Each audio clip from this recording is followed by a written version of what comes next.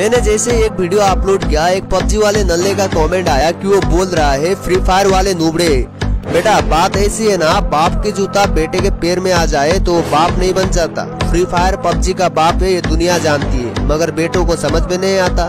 बुराई करने पे तुले हुए हो बराबर ही तो तुम्हारे बाप दादा भी नहीं कर सकते। I'm a, I'm a